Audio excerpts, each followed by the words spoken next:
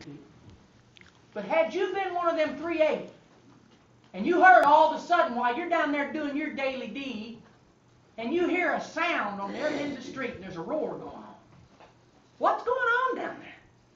They said them crazy Jesus people been praying.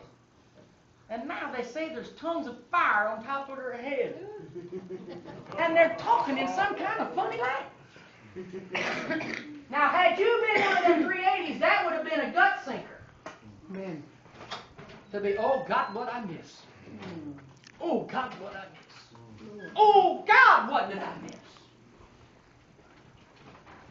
Then here comes 120 men and women that was obedient to seek the Lord. And they come out with power to change a nation. Our world's different today because those people obeyed God and stayed in prayer. Amen. I said our world's different. We're preaching the gospel halfway around the world from where they are because those people stayed in a place of prayer.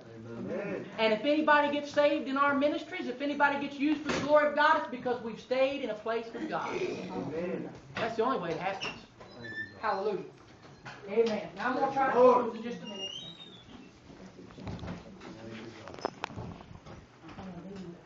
Everybody's put learning ahead of praying. What do you mean?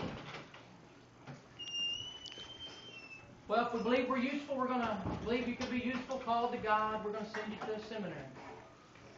Lord have mercy. Going to have to get all this knowledge in you. I just have questions for you.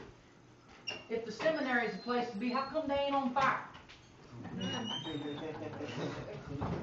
When's the last time you heard of a revival breaking out in the seminary?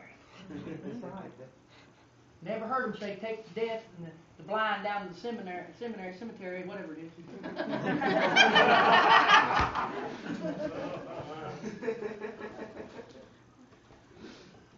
and that's funny, but we believe the same thing. What do you mean? Because we always want to sit around and get preached to and get taught. But we won't seek God ourselves. So we're thinking we can attain God by knowledge. But you ain't going to attain God by knowledge. You'll get it in the knowledge of the Lord by the Spirit. The revelation of the Spirit comes to you through prayer. Thank you, And there's nothing anybody can do to ever steal that from you. Said about old uh, John Bunyan, the guy that wrote Pilgrim's Progress. He was a preacher of his time. And the, the religious, religious of that time hated him because he was telling them their way wasn't right. And he preached the truth to them. And they locked him up. And they took his wife and his kids from him and locked him in a cell that was so small he couldn't sit down in it. His knees had hit one side of the wall, his back had hit the other. They wouldn't even remove his human refuge from him. Things had come out. They wouldn't even remove that from him. Left him in the stench and fed him in the same place where he dumped in and had to go to the bathroom. They locked him in there because he was a preacher, a real one. And they'd come to him every day. And they said that, they said in history books that they'd come to him and they'd ask him. They'd say, "If you'll recant, we'll let you out." And this was his statement. Why should I want out? Anywhere Christ is is a kingdom now for me. Amen. What happened? He learned a place of prayer. And he had a secret place with God even in the place of trouble. Oh, hallelujah. I said hallelujah. They'd come to him and show him his wife and his children, let him see them, get a look at them. A few years, I think two or three years they done this to him. And they'd say, if you'll just deny what you've been preaching and quit preaching to people, we'll let you out and go back home with your wife and children. And he told them, as soon as I get in the courtyard, I'll be right back to preaching. Why? Because a man or a woman that's been alone with God, no matter what you take from, you can take whatever you want, but you can't take Jesus from me. Hallelujah. You can't take him. There's nothing you can do. He forgave an old drug head like me, a man that was so evil and vile. He's changed me, but it took prayer. It took intimacy with God. Your addictions, the desires that ain't like God, will begin to leave you when you finally get serious with God and seek Him with your whole heart. Amen. Change them. And they don't change until. Right. Because once you get serious, then your faith is going to hold. I remember uh, I was in a meeting one time. Man, there's been so many things I could talk about right now, but I'm going to just tell you this and to close. So many instances of prayer. and the- the rewards of just staying alone with the Lord. I was in uh, Illinois, seeking God. I'd been up there for around three weeks with this minister and this minister's conviction, and I mean, it was a prayer time like one I've seldom had.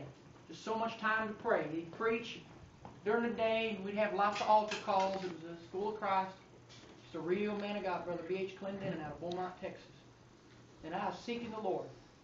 For them three weeks, I went up there on purpose to get a hold of God. I'd come back, drive back to Richwoods on Sundays to preach to church and go right back. Didn't even spend much time with my family. I was doing a time of separation.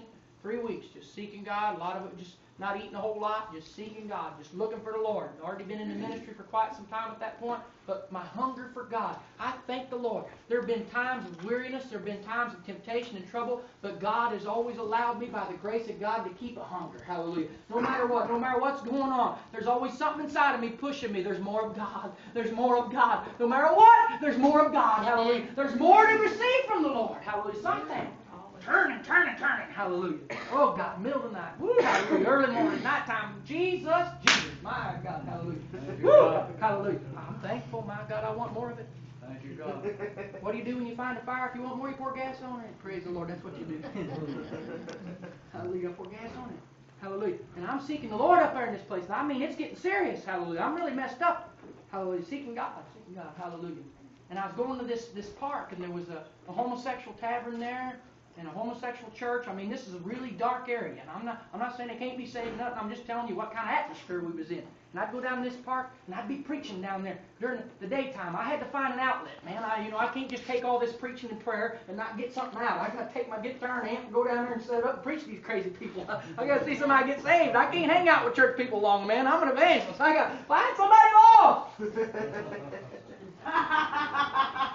Hallelujah. But in that, I'm praying, man. I'm getting down to business. And one day I prayed and prayed and prayed, and I couldn't pray no more. I'm knelt down there, and everybody's leaving. They're going to get dinner, and I hadn't been eating. I care less. You know, I'm just God. Well, finally, I couldn't cry no more. I couldn't even talk. I had nothing else to say. I prayed out, and I'll never forget it. I was knelt down there, and it felt like my breath left my body. And the last prayer I said, it felt like everything, like I could, my carcass could have just fell over, like everything in me left. And then the Lord spoke. And he said, As I was with Abraham, I'll be with thee. He said, I'll meet you along the way as you do my will out.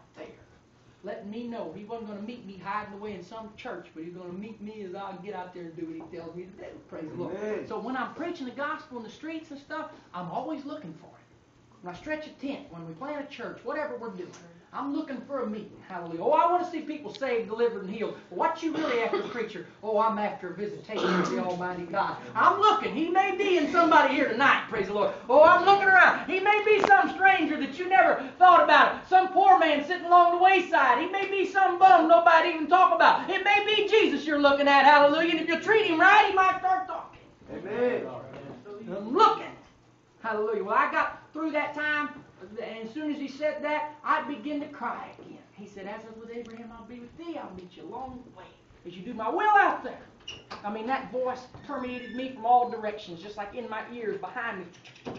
The voice of the Lord's like John said. He said, it's the voice of many waters. And I know what he was saying. That was the loudest thing that John had in his time to compare what the voice of the Lord's like. The voice of many waters. He didn't have jet engines to talk about. He didn't have sonic booms. What he did have was waterfalls rolling over a bank to explain to us what it's like, the real presence of God. It's not only heard, it's felt. And I know what that experience is. It feels like it comes at you from all angles and permeates you. Not just heard, but felt. I'm talking about the audible presence, the voice of the Lord that shakes you to your being. Amen. Whoa, hallelujah. Like that. And I hear him in my spirit, but there's times when that come on. Hallelujah. I'm going, ah, woo, scared to death. But love it. I mean, I, you can get addicted to something will kill you.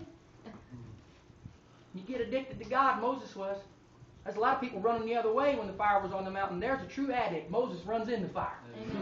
Other people go, no, I ain't talking to him. Said, I'm going. Even though the Bible said he exceedingly feared